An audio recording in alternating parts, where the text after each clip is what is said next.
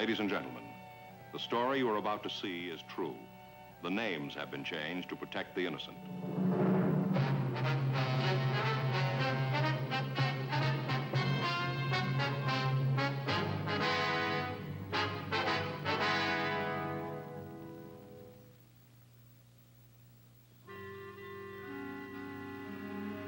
This is the city. Los Angeles, California. It's a fine place to get an education. It has one of the largest public libraries in the country. A wide choice of good colleges and universities, such as UCLA. For advanced study in special areas, there are places like Marineland, or the Los Angeles County Law Library, the Art Institute. But in spite of the opportunities, there are a few people who insist on learning the hard way.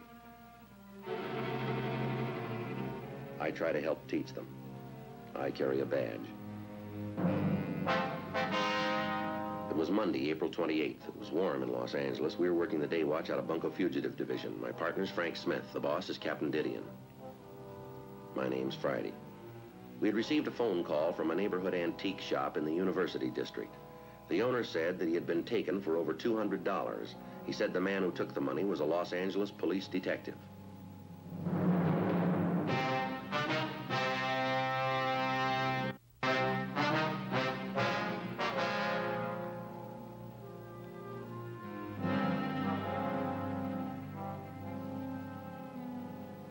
That doesn't look like it. Like what? Like the badge the fella showed me. Well, now, how did his look? Well, uh, it was different, you know? Not exactly. Are you fellas sure you're policemen? Yes, sir, we're sure. Got a police car outside? Yes, sir, that's right. Looks like an ordinary car to me. Well, it's supposed to. We're from the detective division. Well, you got any other proof I could see?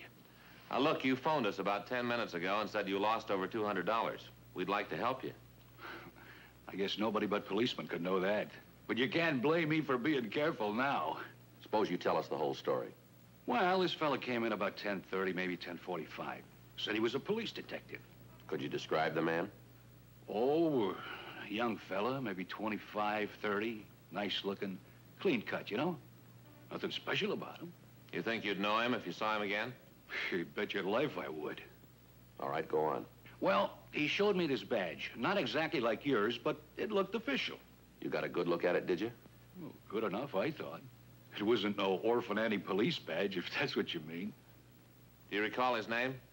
Uh, yeah, he said it was Sergeant Haspel. You know anybody by that name, Joe?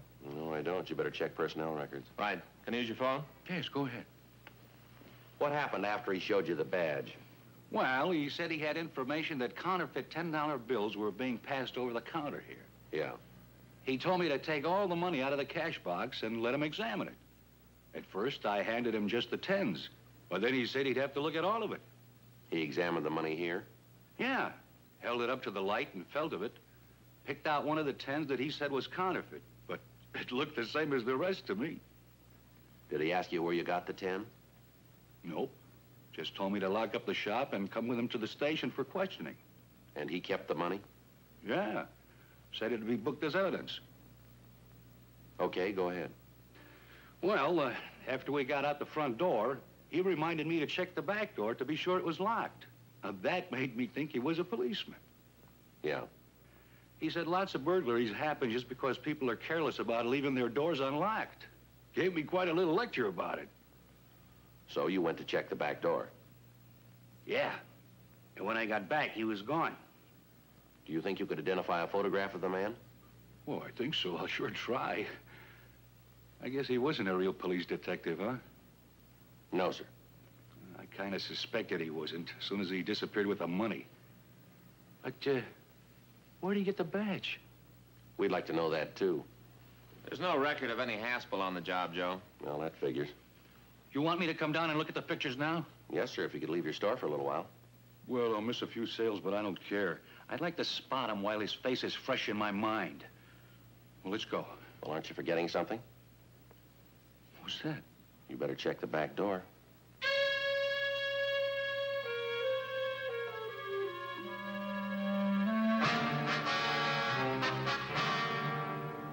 We took the victim, George Amon, down to the office. He gave us a full description of the suspect, and we put out a local broadcast.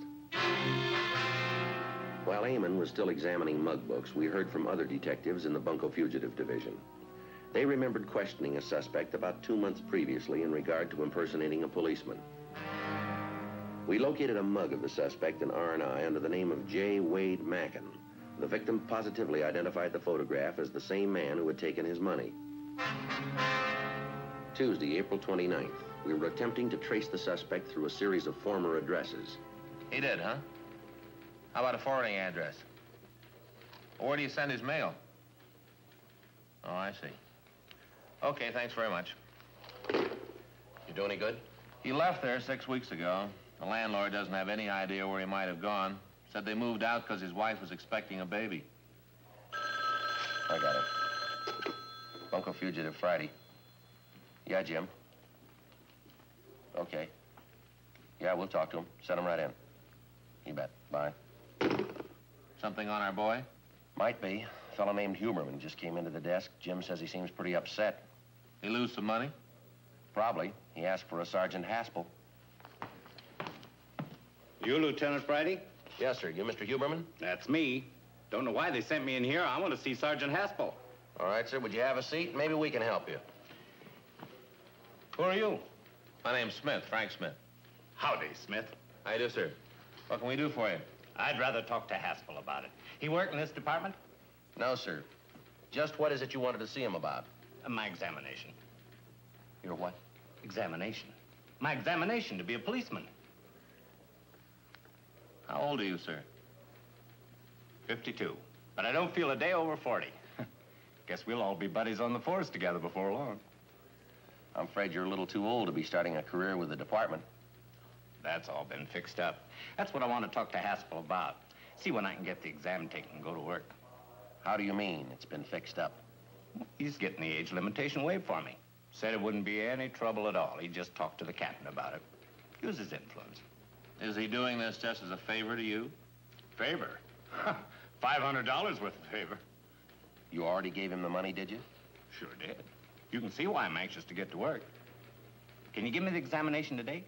No, sir, I'm afraid not. Well, why not? I'm getting tired of being put off. What's all the delay? Well, sir, there are two things wrong here. First of all, you can't get regulations set aside by paying anyone. Second, the man who took your money wasn't really a police officer at all. Not a policeman? No, sir. But he showed me his badge and his card. Said right on it, Los Angeles Police, Sergeant Haspel. See? Sergeant Haspel. Yes, sir, we believe you. And I got suckered, is that it? Well, you're not the only one. He's taken some other people by impersonating a police officer. Is this the man who took your money?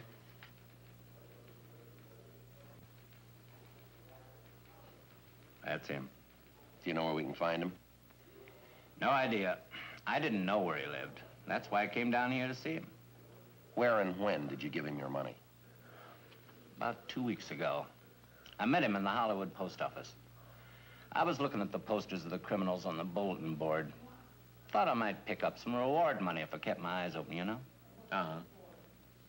Well, this Haspel came up to me after I left. Said he noticed me reading the wanted posters. Said it was public-spirited citizens like me that helped the police out. We got to talking, and I told him I always wanted to be a policeman. Then he showed me his badge and gave me the pitch about getting the age limit waived. What about the money? We walked right to the bank, and I drew it out of my savings. Handed it to him right on the spot. Didn't he give you any address or phone number? Nope. Said he'd get in touch with me as soon as he could set up the examination. You know the rest.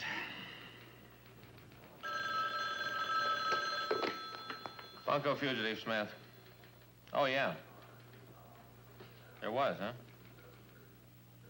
How long ago? Uh-huh. Well, thanks very much. You bet. Well, now we know where he got the name. Do we? There was a Sergeant Haspel. He worked in the supply division. He retired in 52. Good. Let's get a hold of him. Maybe he can help us. He died last year. We continued to question the victim, Harold Huberman, but he could give us no further information about the suspect. We continued our efforts to trace the suspect through former associates.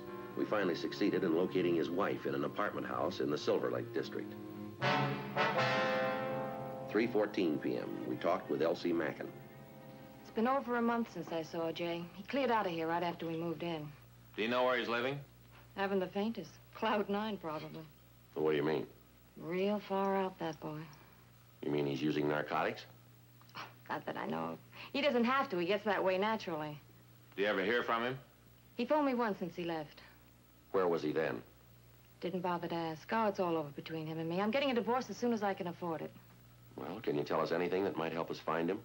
Like what? Well, like what kind of work does he do? Who are his friends? Where does he spend his time? Those are real tough ones. I'd say it all depends. Depends on what. Whatever mood he's in at the time. Do you know if he has a job now? I doubt it. The last I heard, he was going to be a colonel in the Air Force. A colonel? Think big, that's Jay's motto. He gets carried away with his ambitions. Unfortunately, he never gets carried out of the chair. You know, before he was going to be an Air Force colonel, he was going to be the world's greatest racing driver. And before that, he was going to go to India and become a yogi. You know, it's too bad he didn't go. Do you know any of his friends? Who could be friends with a combination Jet Ace, Swami, and Barney Oldfield? Nobody I know. Well, all right. Did you or your husband know a Sergeant Haspel in the police department? Yeah, he was my uncle. Real nice old guy. Died about a year ago. What's that got to do with Jay? I don't really want to know anything more about him. But I suppose I should ask. What has he done now? He's been impersonating a police officer, using your uncle's name. Jay, a cop? Well, now, that's a hot one. Do you know if he has any girlfriends? Someone he might see regularly? I don't know. No, no, I, I don't think so unless it's recent. Jay never played around much. That's not one of his faults. We separated because of a different reason. Why? Well, he started acting nervous as soon as I told him I was going to have the kid. Oh, he acted like he was glad and everything, but I could see he was worried. You mean from the money angle? Jay always managed to get enough money. When he wanted to work, he could land a good job. But there was something about being a father he just couldn't stand. Yeah. So permanent.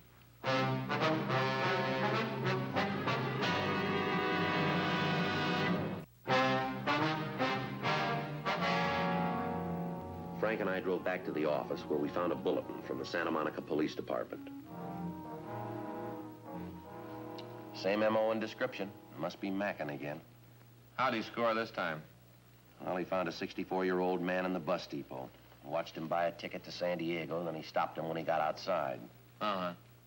Told the old fellow that he'd used a counterfeit $5 bill to buy his ticket. The victim said that he had just gotten the money at the bank. The suspect walked him to the bank, identified himself to the teller as a police sergeant, and verified his story. Some guts, huh? Yeah. Then he took the victim's wallet and told him to wait while he phoned headquarters to check him out. He walked out and left the old man sitting there. How much did he get? $340. Can we help you, son? Yes, sir. The guy downstairs told me to come up here. All right, you want to have a chair? I won't have to pay a fine, will I? Well, I don't know. That depends on what you've done. Will I have to go to jail? Well, what seems to be the trouble? Well, it must be pretty serious. I wouldn't be here in the first place. But I think you've got the wrong guy. You want to tell us your name? Bob Tepps. Robert, that is. Why'd you come see us, Bob? I didn't. I was brought. All right, then. Why were you brought? Now, listen, if I'm going to be kept here, I better phone my parents. They're expecting me home. In fact, I should have been there half an hour ago. Well, all right, you can phone them if you like. Oh, um, boy, they're going to die when they hear I'm in jail. Well, you're not in jail, son. Same thing. Well, now, look, why don't you tell us the problem first before you phone, and then we'll know how serious it is. Okay. It Started out real simple. All I did was make a right turn. A right turn. Yeah, I even signaled before I did it. But he didn't see that because he was on the right side. Well, now, wait a minute. Did you hit anybody? No, but almost. Well, now you know this isn't traffic. This is bunco. I know. Uh, what's bunco? It means schemes to defraud people, taking money under false pretenses. The man at the desk told me to come here. I got tired of standing around. I must have waited for an hour and a half. So I asked him. What were you waiting for? For the other policeman to come back, the one that took my wallet to check me through R&I, whatever that is. What was the man's name, the one who took your wallet? Sergeant Haspel? You started to tell us how he happened to bring you in. Yeah. It was all because of that right turn. Just as I swung around the corner, he stepped off the curb to cross the street. I guess I almost ran over his toes. Well, where did this happen? On Fifth and Olive. He was trying to cross Olive when I turned into it. He yelled at me and ordered me to pull over right then. And you did? Yeah. He sounded like he meant it. He said right off that he was a policeman, and he flashed the badge at me. At first, I thought I actually hit him. He seemed so mad. Well, what did he say to you? First off, he gave me a big lecture on violating the right-of-way of pedestrians. Really chewed me out. Then he asked to see your driver's license. That's right. I handed him my wallet, and he looked at the license for a long time, then at me. Then he told me he'd have to bring me down to the station. Well, didn't you think that was unusual just for a traffic offense? Well, that's what I said to him. But he told me I answered the description of a robbery suspect they've been looking for. So I'd have to come in with him while he checked me through R&I, whatever that is. That's records and identification. I was snowed. So I let him climb right in the car with me. We drove up here, and he told me to park the car across the street. Then we walked in downstairs. What happened after you got in the building? We got in the elevator, and he took me up to the main floor. He told me to wait there in the hall until he came back. Did you see where he went? Just through a door with no name on it. I've never been in here before. All looks the same to me. And how long did you say you waited for him? About an hour and a half, I guess. I figured it'd be better for me if I didn't make any fuss. I knew I hadn't robbed anybody, and I'd be clear to that. There was still that right turn business, and I didn't want to irritate him. Yeah, we understand. Anyhow, I finally got tired of waiting. So I looked around till I found a guy in uniform at the information counter. I told him the trouble, and he sent me up here. Is this the fellow who brought you in? Yeah, that's him. You want to phone your family now? No, I guess I'd better tell them in person about losing the money. That is, if I can go home now. Well, we'd like to get a crime report from you first, but you can go any time after that unless you can tell us something else that might help. No, I can't think of anything. Did he talk to you while you were driving down here? Not a word. Except to remind me a couple of times what a lousy driver I was. Sure had me fooled. Well, he's fooled some others, too. You know, how was I to know? After all, he had a badge. It looked legitimate. You're not the first one that's been taken by this con man. Maybe I better tell you. He had something else that made me think he was a policeman. What's that? A gun?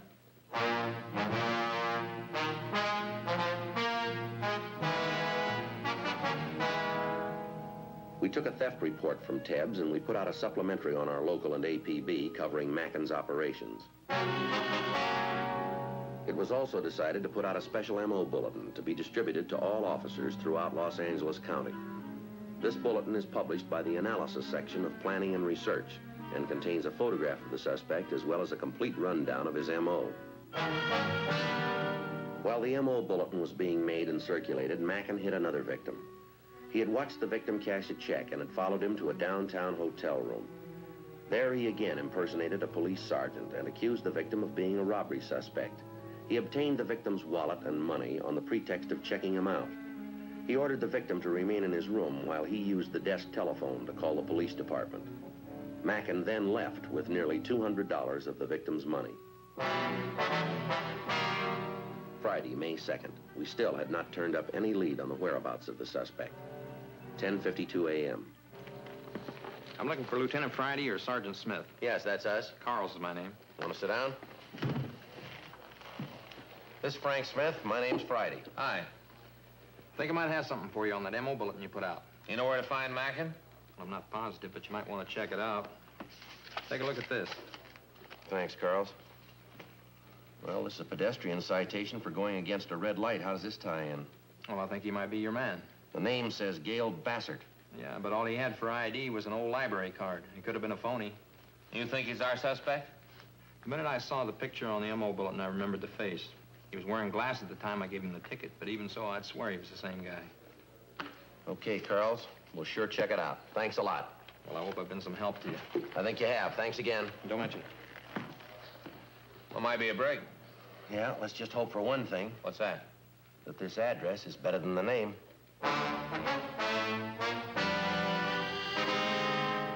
The address given on the traffic ticket turned out to be a small hotel on West 7th. The clerk there identified a photograph of the suspect and said that he was registered under the name of Gail Bassett. He was not in his room. Frank and I parked the car in a position where we could cover the hotel entrance. An hour passed. Two hours. 1.35 p.m. Frank.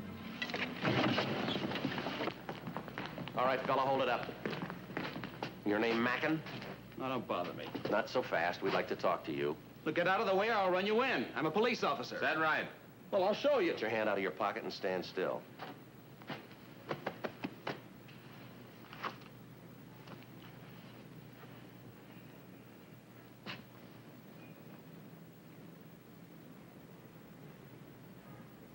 See, I'm Sergeant Haspel.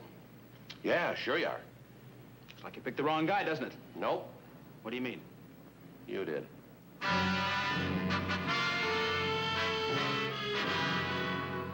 We took the suspect downtown and contacted several of the victims.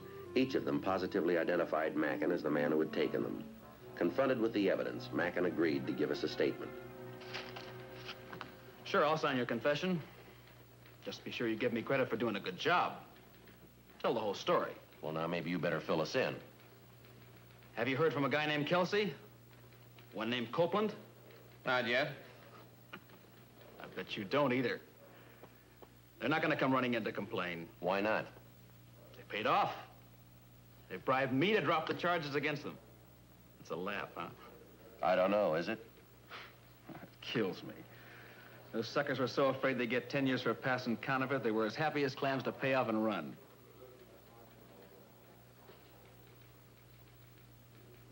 What'd you do with the money? Oh, I still got most of it. A savings account. I was getting together a little nest egg. For what? I was going to take it up to Vegas, roll it into a real pile. I've been reading up on mathematical odds. Is that so? I'm going to be the biggest high roller of them all. I'll make Nick the Greek look like a penny any player. I can do it. You wait and see. Sure, sure. The same way you became a jet ace in the Air Force, or the way you became the world's greatest racing driver, or was it the way you became an Indian yogi? Ah, now, you've been listening to Elsie. Maybe you should listen to her, fella. She could tell you a lot about yourself. Oh, a lot she knows. Now, you can't deny I made a good job of being a cop. Sure you did. Sure.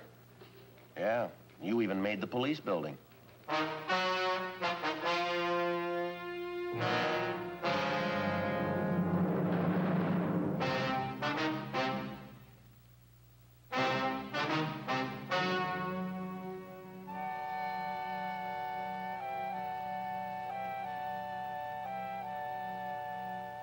October 16th, trial was held in Department 98, Superior Court of the State of California, in and for the County of Los Angeles. In a moment, the results of that trial. The suspect was tried and convicted of grand theft, two counts. Grand theft is punishable by imprisonment in the county jail for a period of not more than one year, or in the state penitentiary for a period of not more than 10 years, each count. Thank you.